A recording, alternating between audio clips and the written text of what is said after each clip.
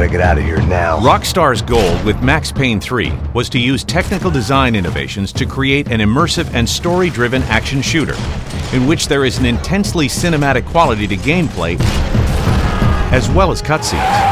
They ain't gonna make this easy for us, are they? Over this video series, we will look in detail into aspects of this approach to game design, including targeting and shooting,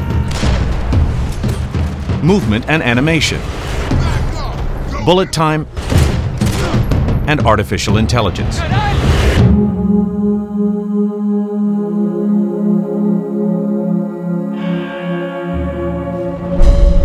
To create as accurate, responsive, and realistic third-person shooter as possible, Max Payne 3's targeting and shooting mechanics have been finely tuned. The game combines the precision of a first-person shooter with a connection to the character you get from third-person games. This core gunplay is based around tight control of the reticle, maintaining full responsiveness without sacrificing realistic character movement. The animations powering Max Payne all work together, so Max can twist and turn fluidly and realistically, ensuring the target is always in Max's sights.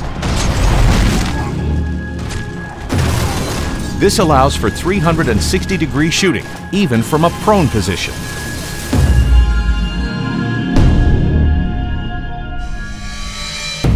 Max Payne 3's cinematic presentation uses extremely detailed animation systems.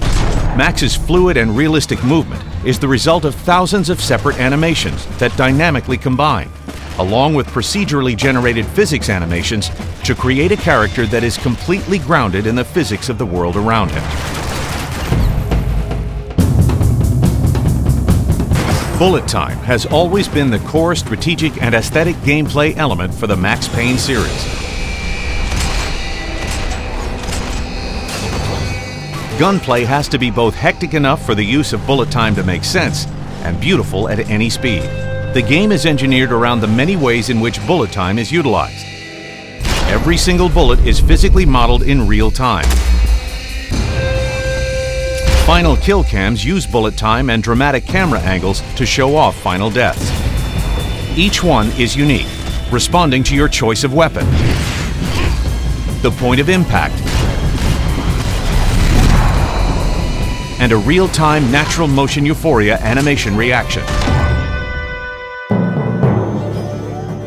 The technology behind enemy intelligence varies depending on if they are untrained street thugs, favela gang members, or elite special forces. There are several thousand unique AI combat animations covering a range of movements from finding cover to reaction to injuries, all to ensure that no gunfight feels the same.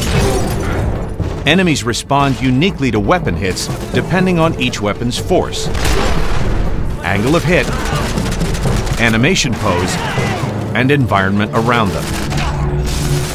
Max Payne 3 brings all these advances together to create stylish and precise gunplay in an incredibly detailed and beautiful environment. Combined with Max's noirish narrative, it creates an intensely cinematic, non-stop action experience.